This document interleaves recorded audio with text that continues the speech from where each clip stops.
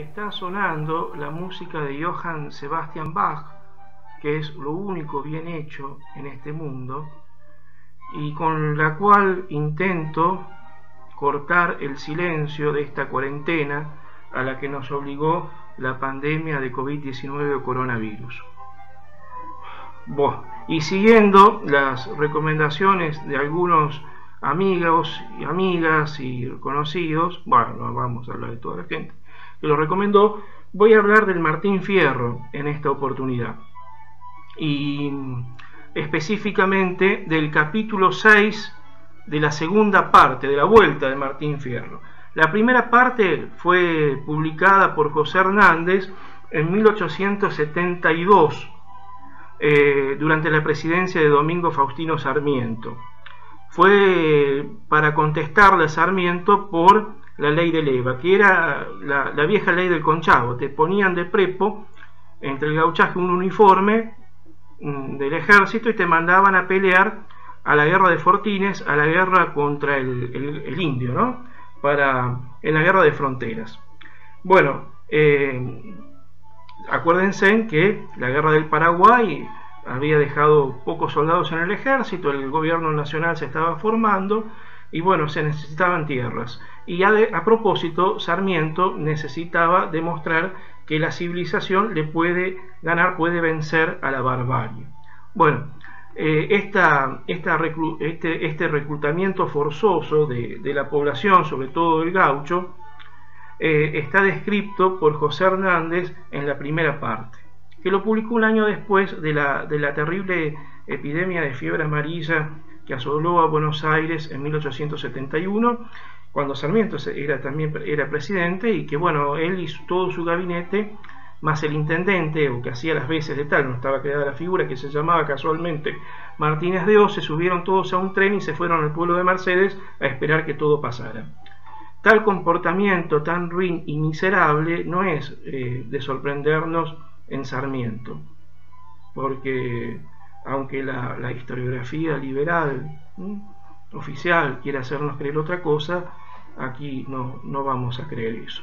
Bueno, eh, Hernández, aunque fíjense en que Sarmiento y Hernández ambos eran masones.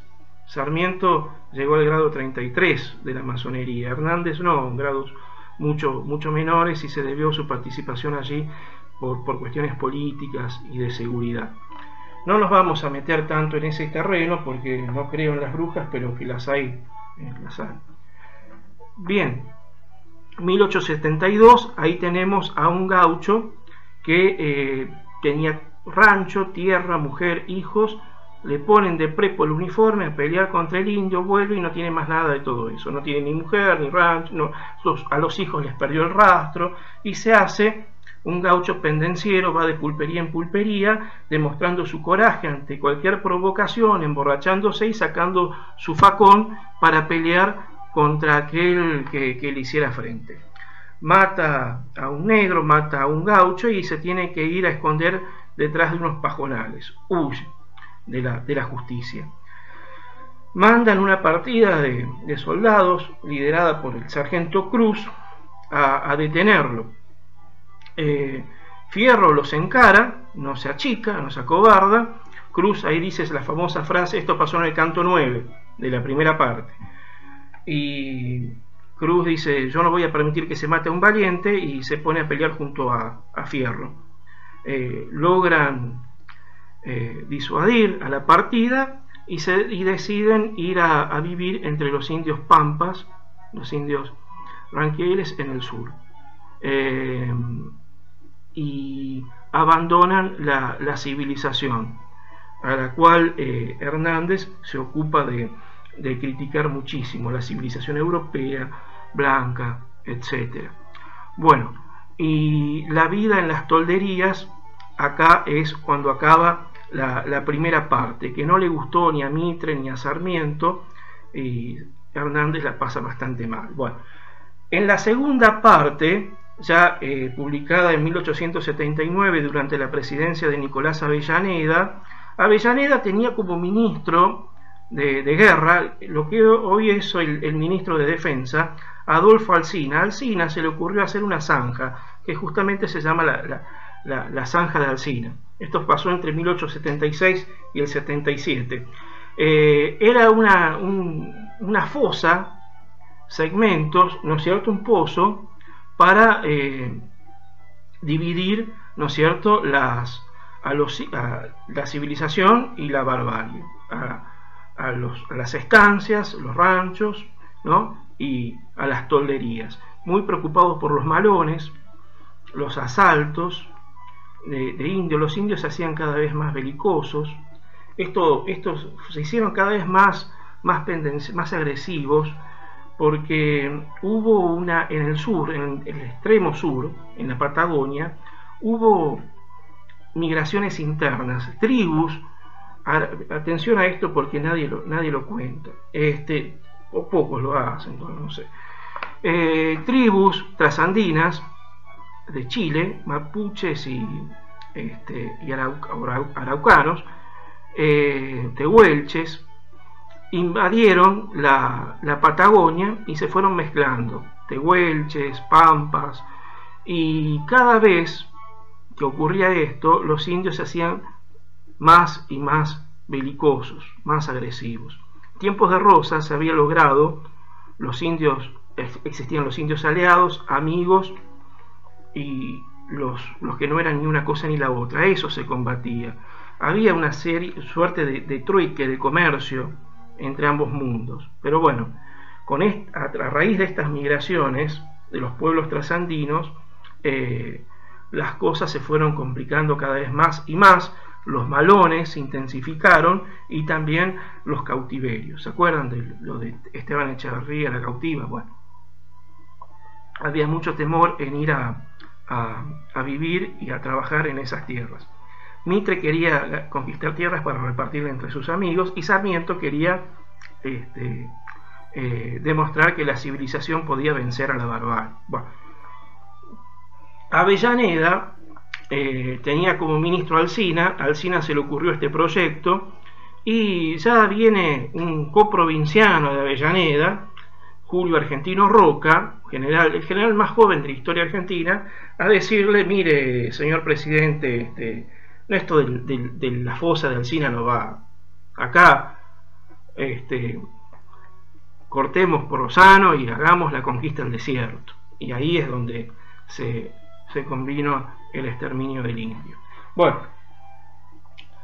en el 79 ya Hernández no, no describe al, al gaucho de forma pendenciera, un solitario, un misántropo, una especie de anarquista cabalgando en la soledad de la pampa. No, ya no, ya es un gaucho eh, débil, acobardado, que busca a sus hijos, que quiere hacer las paces con la, eh, con la civilización y hasta eh, la elogia, ¿no? Bueno, ya a Hernández las cosas le empezaron a salir mejor y le perdonaron este, su pasado federal, ¿no? El papá de Hernández era rosista, Hernández peleó con Urquiza, después con el asesino de Urquiza, el el gran Judas de la historia argentina, ¿no? Ya, ya, ya vamos a hablar de ese, de ese personaje, que, lo sobornaron, coimeado, sobornado, lo sobornado y entonces se enfrentó a Rosas en Casero en 1852. Bien, este, Rosas en Southampton, en su exilio, tenía dos sillones, en uno se sentaba él y en el otro no permitía que nadie se sentara. Una vez fue un sobrino a visitarlo y le dice, no, mi hijo, saque una silla que está por ahí, siéntese en esa silla, ese sillón no. Entonces le preguntó, ¿y por qué en ese no? Ahí estoy esperando que entre una vez Urquiza y me explique su traición. Porque nadie lo entendía. Se entiende únicamente eh, si consideramos que, lo sobornaron. Bueno, eh, sigamos con nuestro tema. Eh, en el canto 6 eh, acá tampoco pretendo hacer una, interpretación, un análisis del Martín Fierro, porque ya lo hicieron Borges, Lugones, Ricardo Rojas, Augusto Cortázar y Augusto, no Julio, Augusto, un salteño especialista en literatura y en folclore. Sería una falta de respeto hacer un análisis, yo ponerme en eso. Este, sí, considerar que para la historia intelectual, para la historia intelectual, el texto literario, ¿no es cierto?, también funciona como un documento. Y, nos podemos enterar de muchas cosas, porque yo estoy, yendo del campo de la literatura al campo de la historia, no sé si se dan cuenta, haciendo ese juego. Bien, vayamos a lo nuestro. El canto 6, capítulo 6 de la segunda parte del Martín Fierro. Yo tengo una edición, ¿no? Parece una Biblia. Este, bien. Eh, está muy bellamente ilustrada. Mamá este, tiene la tapa de madera. Bueno y tiene el prólogo de, Augusto Cortázar. Este, fíjense que eh, se van a vivir en las tolderías y ya Hernández este, fustiga al indio, fustiga la barbarie, entra en esa dicotomía en la tesis sarmientina civilización y barbarie. Vélez el íntimo amigo de Sarmiento, decía, Sarmiento es más brillante cuando miente que cuando dice la verdad mentira, la palabra mentira viene de mente, es una, una construcción mental que hacemos. Bien, bueno, en el canto 6, acá está, eh, bueno, un cacique bueno, un capitanejo, los deja vivir en, las tolderías, este, un, indio les acerca alimentos, bueno, eh, pero no los dejan vivir juntos por miedo. Entonces, dos años están separados, eh, Fierro extraña a su amigo, y, bueno, después los dejan vivir juntos después de dos años, hacerse compañía, ¿no? Y en un momento se desata la, epidemia de viruela entre los indios pampas. Eh, podemos pensar también que la viruela, yo escribí algo sobre la viruela, y la vacuna contra la viruela, Edward Jenner, eh, fines del siglo XVIII. Bueno, y cómo España vacunó ¿no? Carlos IV con la misión Balmis, ¿no? apoteótico fue eso, vacunaron a, todo, a toda Hispanoamérica, no Latinoamérica o América Latina, que es una aberración, América Latina o Latinoamérica, Hispanoamérica o Iberoamérica, eso es lo que somos nosotros, hispanoamericanos. Bien, eh, vacunaron a todo el mundo. Y acá en Argentina, en el Río de la Plata, este, llegó tardíamente, pero en 1805 ya se empezaron a vacunar contra la viruela, 1806 ya la estaban controlando, eh, antes de 1810. Y esa misión llegó hasta Filipinas y hasta la China. Bueno, la oscura España y esas cosas, ¿no? Mientras que la moderna, civilizada Inglaterra, ¿no? Hay cartas, por ahí tengo una, la carta, hay una transcripción, el Jeffrey Ansley, el barón Ansley de Kent, este, en 1763 le mandó una carta a un mercenario francés eh, aconsejándole que peleaba en, Estados Unidos para la corona británica, no gaste más en hombres, en soldados, en municiones. Dele a los, a los indios Delaware, que tenían un problema con los indios Delaware en el noreste de, los Estados Unidos, en la frontera con el actual Canadá, deles mantas con el virus de la viruela. Bueno, y así lo hicieron, exterminaron a más de 100.000 indios Delaware con la viruela. ¿Mm? Mientras que, España mandaba vacunas a Hispanoamérica, el rey de España mandaba vacunas en la misión Balmis, Francisco Javier Balmis, el doctor Balmis, Inglaterra mandaba el virus de la viruela en mantas, a propósito, para exterminar a los, a los nativos de América. Eh. España, que fundó 24 universidades en Hispanoamérica, e Inglaterra en sus colonias americanas, ¿saben cuántas fundó? Ninguna, cero. Bien, bueno, después hablan de la leyenda negra. En el canto, y, Sarmiento, por supuesto, peste sobre España y todo lo demás. Bien, por eso no es eh, ocioso preguntarnos si la viruela negra no fue ahí metida, ¿no? En algún poncho acá, entre los, indios pampas. ¿eh? Bueno, eh, Claro, acá el, tono de Hernández ya cambia, Hernández quiere hacer las paces con, sus amigos eh, en el gobierno nacional que se está formando. Bueno, fíjense en lo que dice por aquí. El indio que nos salvó, él nos salvó, pero a Cristo, muchas veces he deseado no nos hubiera salvado, si lo hubiera preferido morir, dice Fierro ni jamás haberlo visto. Primero, en el canto primero, le da las gracias por, darle una mano, una gauchada. Y ahora dice, ojalá no lo hubiera visto nunca. prefería, prefería la muerte, Fierro, a, vivir con los indios. Primero los alaba. Vamos con, los indios Pampa, le dice a Cruz, porque acá no se puede más vivir con los hombres civilizados. Y ahora, ojalá nos hubiéramos muerto antes de entrar con los indios. Eh, más adelante, Miren lo que va diciendo. Voy entrando poco a poco en lo triste del pasaje. Cuando es amargo el brebaje, el corazón no se alegra. Dentro una virguela negra que los diezmó a los salvajes.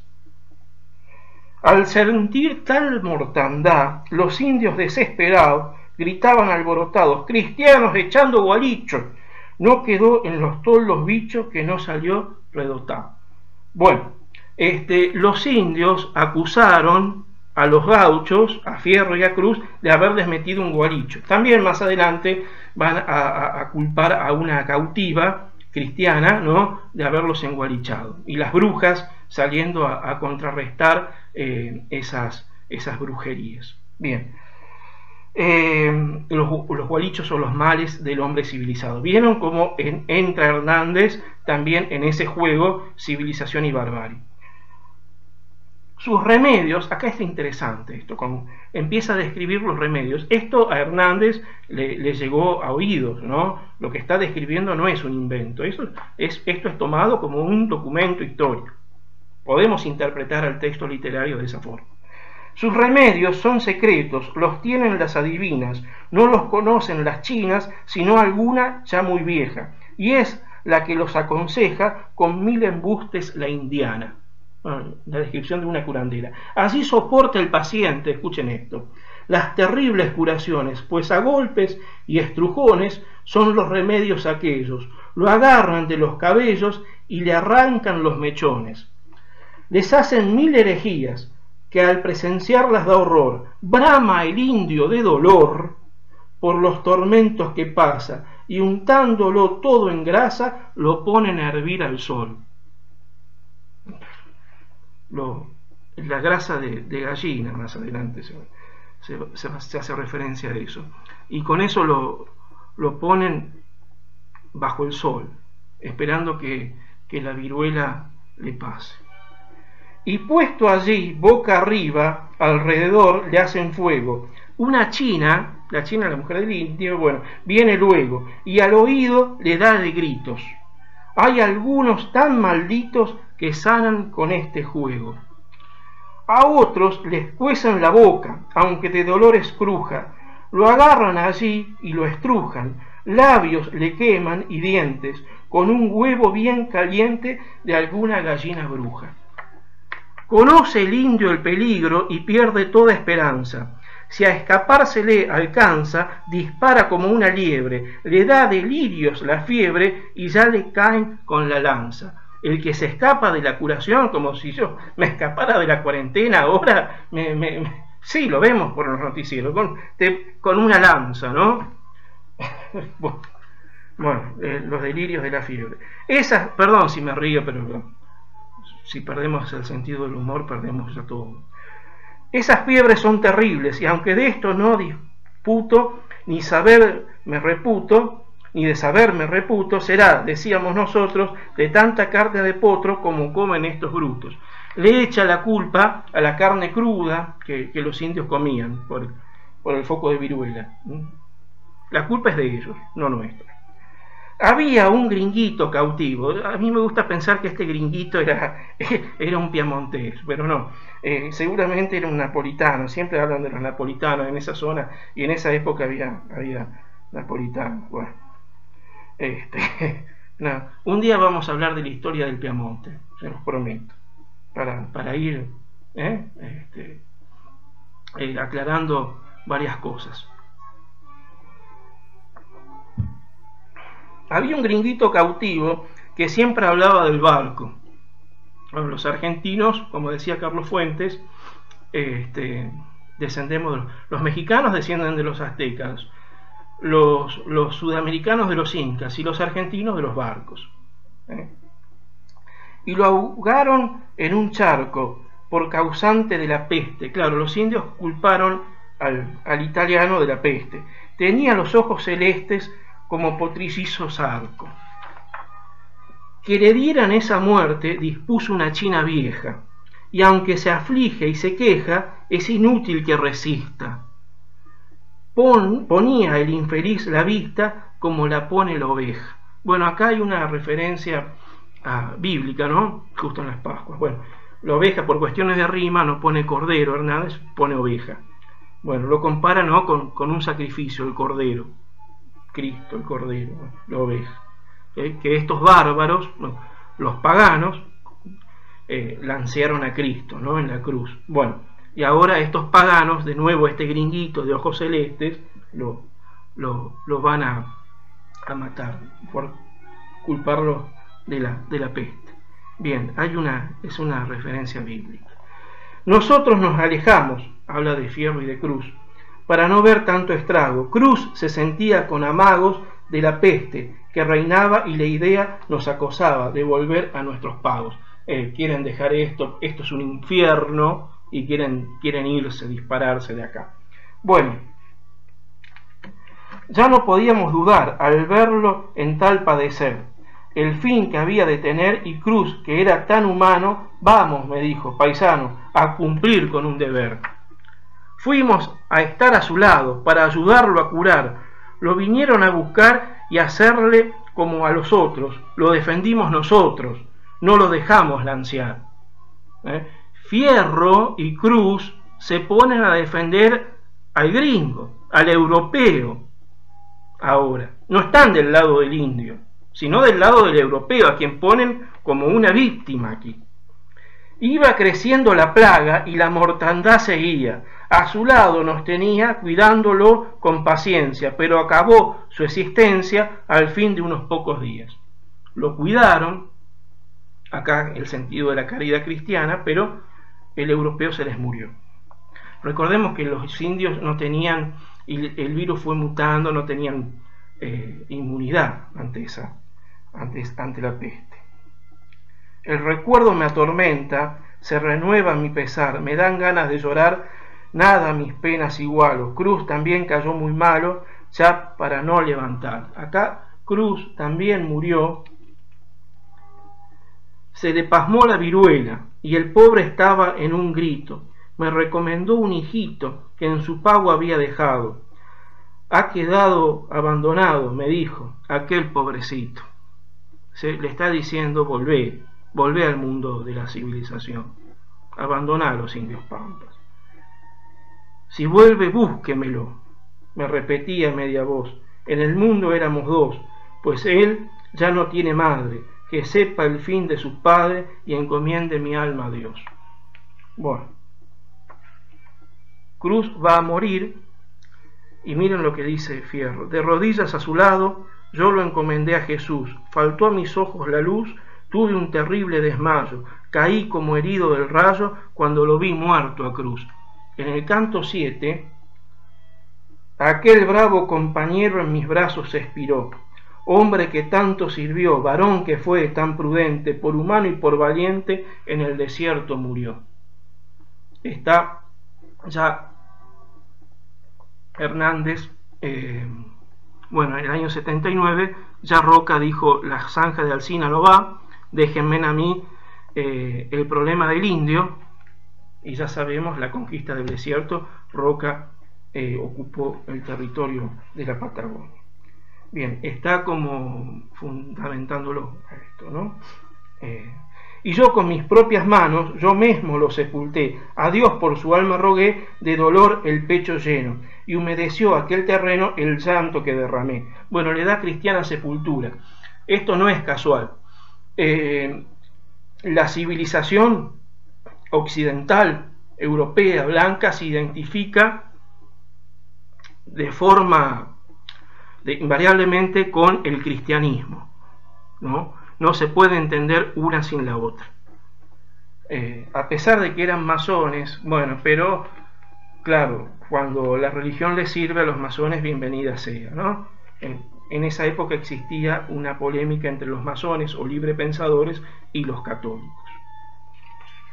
Bien, eso va a estallar en la presidencia de Roca. Lo vamos a ver con, el Congreso Pedagógico de 1882. No salgamos del tema. Bien, andaba de toldo en toldo y todo me fastidiaba. El pesar me dominaba y entregaba al sentimiento. Se me hacía cada momento oír a Cruz que me llamaba. Bueno, lo, lo extraña a su amigo, ¿no? Lo recuerda. Después oye el relato sigue, oye los llantos de una mujer en una cautiva, que un indio la quiere matar, que tiene un hijo, mata al hijo, el indio, la, una india dice que, que había echado una brujería de cristiana, y Fierro mata al indio y se va con esta mujer a una estancia a buscar trabajo y ahí encuentra un amigo, etc. Bueno, y ahí se pone a buscar a sus hijos, entran otros personajes entrañables como el viejo Vizcacha. Bien, esta, y, al fin encuentra a sus hijos y les, les pide, les encomienda que hagan las paces, los, les da consejos, ¿no? Eh, un padre que, que da consejos más que padre es un amigo, etcétera, todo ese tipo de cosas. Eh, pero bueno, vieron la diferencia entre, yo acá lo hice de forma muy, muy sintética, esto por supuesto llevaría más tiempo, pero la diferencia que hay entre la primera parte y la segunda parte, la descripción de la, de la epidemia de viruela negra entre los, los, indios pampas y, cómo eh, se cobró estas víctimas, el, gringuito del cual habla y el sargento Cruz, que, a Fierro le, dolió eh, profundamente esa muerte. Bien, eh, esperemos que, que esta esta pandemia que hoy nos toca vivir también llegue, llegue a su momento, ¿no? a su final, y, podamos salir. Eh, ahora podemos, vamos a salir de nuestras casas. La, cuarentena con el tiempo para mayo se va, se va a atenuar, va a haber cada vez más excepciones, se va a ablandar. El tema va a ser salir de la cuarentena mental. No sé si se, pudieron, se pusieron a pensar en eso. Porque vamos a vivir como en una espada, bajo una espada de Damocles. En cualquier momento una cosa así puede, puede volver a, a pasarnos. Y eso sería, sería terrible nuevamente vivirlo.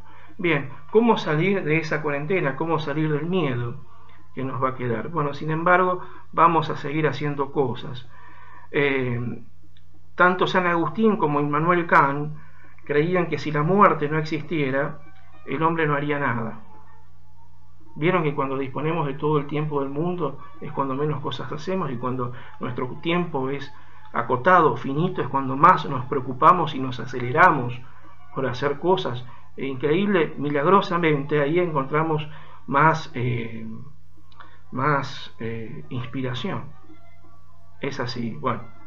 Eh, el hombre es así. Yo creo que desde que salimos de la línea Aristóteles, Santo Tomás de Aquino, entramos en un caos, porque después de eso lo que entramos es en el triunfo total de la subjetividad. La verdad, lo que llamamos verdad, no está acá, tampoco está acá, menos en el corazón. Eh, en el corazón están los sentimientos, en la cabeza la razón, la razón, como decía Santa Teresa, es la loca de la casa. La verdad está afuera. La verdad está afuera. Por eso cuando uno habla de cualquier tema, de historia, literatura, de política, de filosofía, lo que sea, este, te van a decir, no, yo creo que, claro, cada uno, la verdad subjetiva es la que se tiene que imponer, yo creo, no, no tenés que lo que yo creo, la verdad tenés que buscarla afuera. Ahora sí, vivimos en el mundo de la subjetividad y la verdad está dentro de nosotros. Porque el hombre post-postmoderno, post-globalización, como muchos le hablan, hablan ya, es un demandante serial de derechos y demanda derechos a algo que es abstracto, como el Estado. Entonces, esto no se terminará nunca. ¿Qué se le va a hacer? Bien, como no, no se va a terminar nunca la demanda de derechos subjetivos, en lo personal prefiero seguir escuchando a Johann Sebastian Bach. Bueno, hasta el próximo video, espero comentarios y el próximo tema, ya la peste negra, creo que me, encargaron algo de que hable sobre eso. Bien, chao, chao. El licenciado Ariel Garis, muy interesante como siempre, lo estábamos escuchando atentamente. El tema de hoy fue la vuelta de Martín Fierro y la, epidemia de virula negra en las tolderías Pampas, año 1879. Bueno, y hemos tenido el gusto de recibir llamados también, en este caso la profesora Graciela Ale se comunicaba y nos decía que justamente en un libro, quizás muchos de los que están escuchando han tenido la oportunidad de leerlo, si no, está bueno para leer también ahora en esta época de cuarentena, el libro se llama Yassi y es de la escritora cordobesa Florencia Bonelli y habla, habla de, la misión, habla de, eh, eso nos contaba Graciela, habla de, eh, de esta misión en San Ignacio, de cómo eh, atacaba terriblemente esta virula negra a las, las tolderías y cómo estos monjes que mm, supieron eh, sacar de eh, vacas que habían estado infectadas también por la, por la viruela y bueno, le sacaban de eh, como de unas fístulas así llenas de pus y se, luego le ponían también a la, se lo inyectaban a, a los indios y lograron hacer una especie de vacuna. Y lograran detener en esos lugares en donde estaban con, con, con, ese tipo de, de tratamiento médico eh, por lo menos lograban de que no se enfermaran estos pobres indios, que como decía acá el licenciado Ariel Garis, eh, tanto sufrimiento han tenido. Y también es muy interesante eh, ir contando cómo a veces determinados imperios utilizaban todo esto, ¿no? Para destruir a, a, a estos indios. Bueno, la columna histórica, la columna que nos habla de, eh, en este caso, esta gran epidemia, Graciela, Graciela le aportaba que, se habla de que fue una de las peores pandemias del mundo, está acá también de la, de la viruela negra, y eh, cómo azotó, porque ese es el calificativo, cómo azotó en las tolderías pampas época 1879. Bueno, y gracias a nuestros eh, oyentes, eh, recomendado también entonces este libro, el que quiera leerlo, ya sí de la escritora Florencia Bonelli.